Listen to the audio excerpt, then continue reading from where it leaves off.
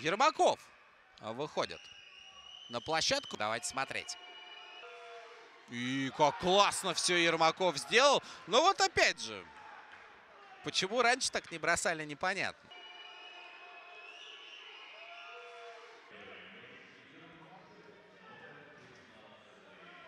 Как красиво он здесь Мурашова обыграл. Купился на его финт.